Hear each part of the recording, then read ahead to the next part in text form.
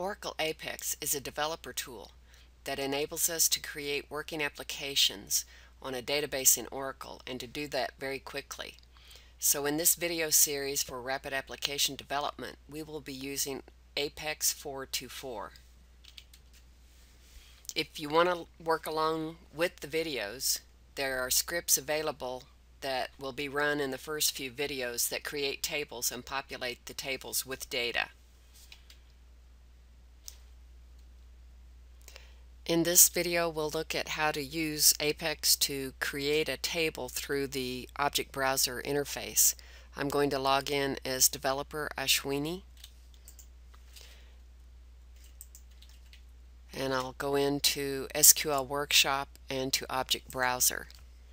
If you look off to the far right you will see a create option and I can select create table and then I have these steps to go through in order to create a table. So I could give it a title such as projects.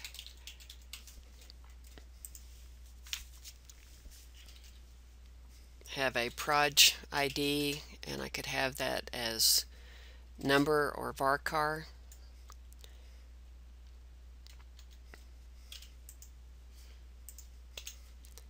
then I could have proj underscore name and that could be variable character with a certain uh, field size.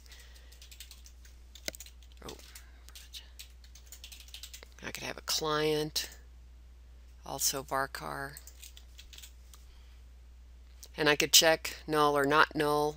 As I move through this, and I'm not actually going to create this table, but as I click I will designate my primary key.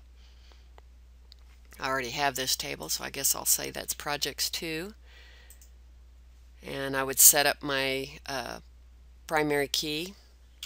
If I want Apex to create the sequence and the trigger for me, then I would want to click this. I would select, if it exists, I would select the project ID and then I could change the name of the sequence if I wanted to and also the constraint for the primary key and I could go on if I had foreign keys and designate those and what tables they relate to. And I could set up other constraints such as uniqueness or a check constraint. But I'm going to at this point go ahead and click cancel.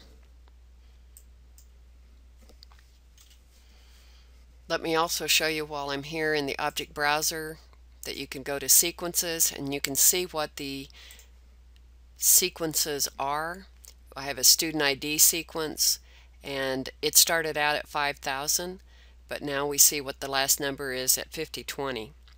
So it's the trigger and the sequence combined that will enable uh, Oracle to give you a unique identifier value for each primary key for each row in a particular table to assign that primary key value.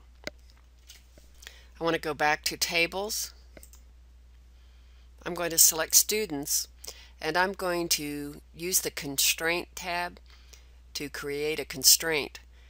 Although I have a surrogate key, student ID, that is system generated using a trigger and a sequence, I also have a student user ID which I want to be unique. So I will I'll select constraint and I'll do a create and you can uh, take the default name. I'm going to modify this.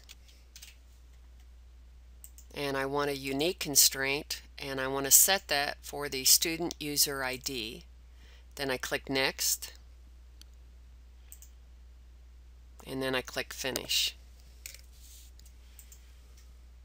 So now I have the primary key. I have a foreign key related to the team table. I have check constraints where I've required student ID, uh, which is system generated now, and also the student user ID and first name and last name. These all must be populated in order to create a student record.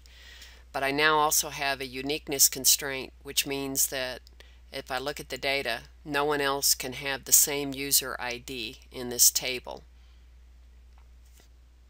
In the next video, we'll use SQL Workshop to and use the utility section to upload data and insert it into a table.